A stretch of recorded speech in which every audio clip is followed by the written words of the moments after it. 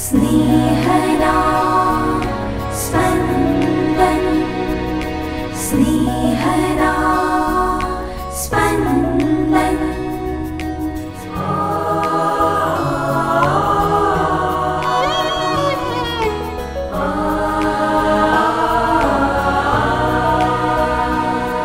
સામાન્ય કાળના પંદરમા અઠવાડિયાનો શનિવાર ધર્મસભા આજે મગદલાના સંત મરિયમનો તહેવાર ઉજવે છે મગદલાના મરિયમની જેમ આપણા પાપોનો પસ્તાવો કરી પ્રભુ પાસે પાછા ફરીએ. સાંભળીએ સંત યોહાનકૃત શુભ સંદેશના વીસમા અધ્યાયના વચનો એકથી બે અને અગિયારથી અઢાર. અઠવાડિયાને પહેલે દિવસે વહેલી સવારમાં હજી અંધારું હતું, ત્યાં જ મગદલાની મરિયમ કબર આગળ આવીને જુએ છે, તો કબર ઉપરથી પથ્થર હટાવી લીધો હતો. આથી તેણે દોડતા સિમોન પિતર અને બીજા ઈસુના વાલા શિષ્ય પાસે જઈને તેમને કહ્યું પ્રભુને કબરમાંથી બહાર કાઢી લીધા છે અને ક્યાં રાખ્યા છે એની અમને ખબર નથી. પણ મરિયમ બહાર કબર પાસે રડતી ઊભી રહી. રડતા રડતા તેણે કબરમાં નીચા નમીને જોયું તો ઈસુનું શબ જ્યાં મૂકેલું હતું ત્યાં સફેદ વસ્ત્રધારી બે દેવદૂતો બેઠેલા હતા. એક ઓશિકે અને બીજો પાંગતે. તેમણે તેને પૂછ્યું ભાઈ તું કેમ રડે છે? તેણે કહ્યું કારણ તેઓ મારા પ્રભુને લઈ ગયા છે અને તેમને ક્યાં રાખ્યા છે તેની મને ખબર નથી. એટલું કહીને પાછું ફરીને જોતા તેને ઈસુ ઊભેલા દેખાયા. પણ એ ઈસુ છે એમ તે ઓળખી ન શકી. ઈસુએ તેને કહ્યું ભાઈ તું કેમ રડે છે? તું કોને શોધે છે? આ માળી છે એમ ધારીને તેણે કહ્યું ભાઈ તમે જો એમને ઉપાડી ગયા હો તો મને કહો કે તમે તેમને ક્યાં રાખ્યા છે? એટલે હું તેમને લઈ જઈશ. ઈસુએ તેને કહ્યું મરિયમ. એટલે તે તેમના તરફ ફરીને હિબ્રુમાં બોલી રબ્બુની? અર્થાત ગુરુજી. ઈસુએ તેને કહ્યું મને વળગીશ નહીં. હજી હું પિતા પાસે ઉપર ચાલ્યો ગયો નથી. પણ મારા ભાઈઓને જઈને કહેજે કે હું મારા પિતા અને તમારા પિતા મારા ઈશ્વર અને તમારા ઈશ્વર પાસે ઉપર જઈ રહ્યો છું. મગદલાની મરિયમે આવીને શિષ્યોને જાણ કરી કે મને પ્રભુના દર્શન થયા છે અને તેમણે મને આમ આમ કહ્યું છે.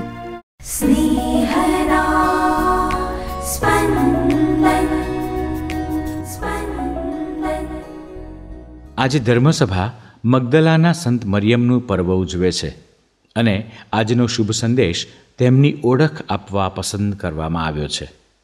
મગદલાની આ મરિયમ વિશે આપણે સંત લુકના શુભ સંદેશમાં વાંચીએ છીએ, જે ઈસુની અન્ય શિષ્યાઓની જેમ ઈસુનો ઉપદેશ સાંભળવા માટે ઈસુની સાથે ફરતી.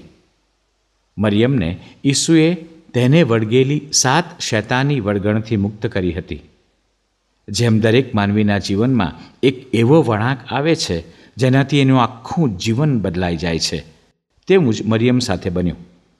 ઈસુના આ ઉપકારના બદલામાં તે ઈસુની શિષ્યા બની ગઈ. આપણે જાણીએ છીએ તેમ, ઈસુની આવી શિષ્યાઓ પોતાની મામૂલી આવકમાંથી પણ ઈસુની ખાધા ખોરાકીની સગવડ સાચવતી હતી. એ જમાનામાં કોઈ સ્ત્રી સાથે જાહેરમાં વાત પણ ન કરે, ત્યારે ઈસુએ આ લિંગ ભેદ દૂર કરવાની ક્રાંતિ કરી હતી.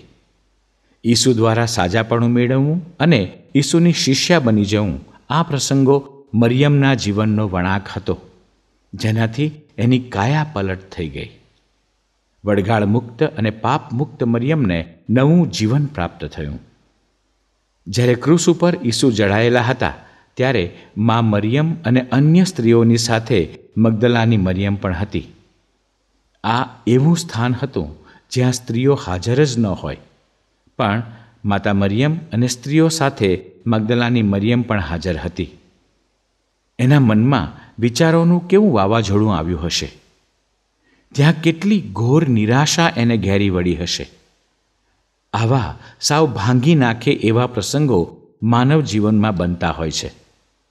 આપણે તેનો કેવી રીતે સામનો કરીએ છીએ એમાં જ આપણી કસોટી છે. જ્યારે અરીમથાઈના યોસેફે ઈસુનું શબ ક્રૂસ પરથી ઉતાર્યું અને દફનાવવાની તૈયારી કરી, ત્યારે મગદાલાની મરિયમ ત્યાં હાજર હતી. બધા પુરુષ શિષ્યો નાસી ગયા હતા, પણ મરિયમે પોતાનું કર્તવ્ય નિભાવ્યું. આ શક્ય બને છે અતૂટ અને ઊંડી શ્રદ્ધાને કારણે. મરિયમના જીવનનો સૌથી સીમાચિહ્નરૂપ પ્રસંગ પુનરુત્થાન પછી ઈસુ સૌપ્રથમ અન્ય કોઈ શિષ્યને નહીં પણ તેમની શિષ્યા આ મરિયમને દર્શન દે છે. આ પ્રસંગમાં મરિયમની ઈસુમાં શ્રદ્ધા અને અનન્ય ભક્તિ છતાં થાય છે. ઈસુ તેની મારફતે જ અન્ય શિષ્યોને ઈસુ સજીવન થયા છે એની જાણ કરે છે. આ હતું ઈસુનું મરિયમને તેની શ્રદ્ધાનું મોટું ઇનામ દરેક સંતને એનો ભૂતકાળ હોય છે અને દરેક પાપીને તેનું ભવિષ્ય હોય છે. મગદલાની મરિયમની જેમ આપણે શું હતા અને કેવા પાપ કર્યા છે, એનું ઈશ્વરની નજરમાં કોઈ મહત્ત્વ નથી. ઈશ્વરની નજરમાં મહત્ત્વ એ બાબતનું છે કે આપણે મરિયમની જેમ પશ્ચાતાપ કરીને પ્રભુ પાસે પાછા ક્યારે ફરીએ છીએ અને ત્યારબાદ કેટલી શ્રદ્ધાથી આપણે ઈશ્વરને વળગી રહીએ છીએ. ઈશ્વર આપણો પ્રયત્ન ઈચ્છે છે. આપણે પ્રયત્નશીલ બની રહીશું તો ઈશ્વર તેની કૃપા સહિત આવકારવા તૈયાર જ છે.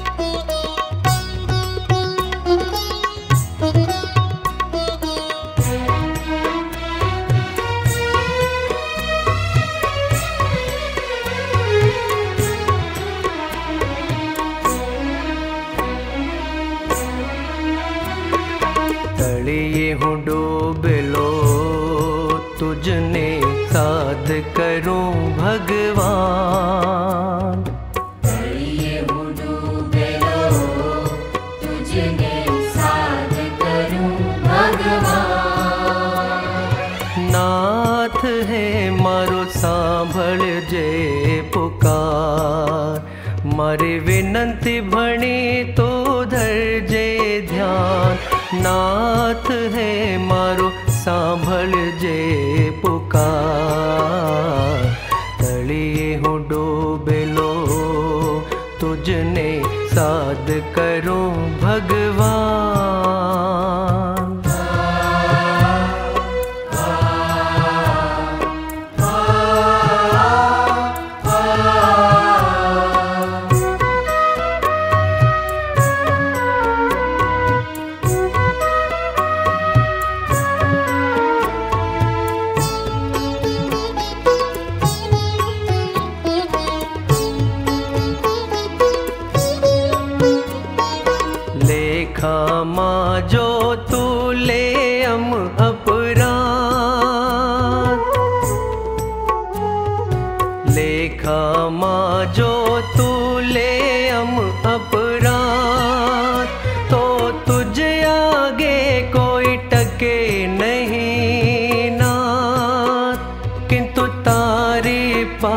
પાસ ક્ષમાનો દાન અમે રાખીએ તેથી તારું માન નાથ હે મારો સાંભળજે પુકાર તળિયે હું ડૂબેલો તુજને સાધ કરું ભગવાન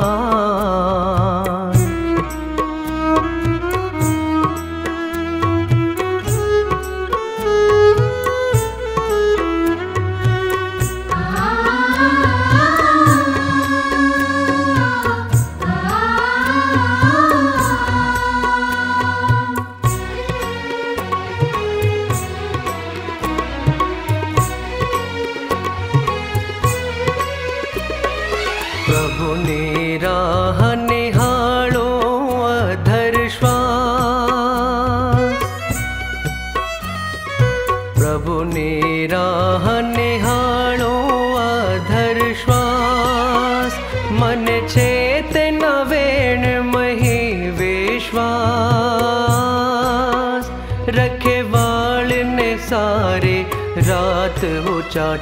थाए मन माँ क्यारे पड़े प्रभात? नाथ हे मारो सांभळ जे पुकार। पडे प्रभाकार तलि तुझने साध करो भगवान।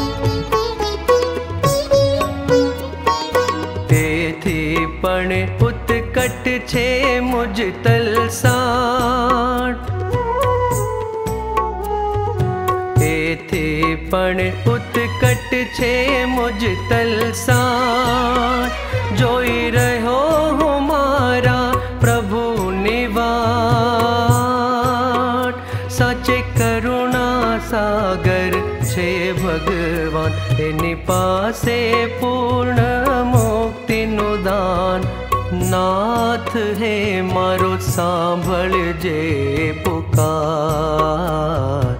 तलि हूबुजने साध करो भग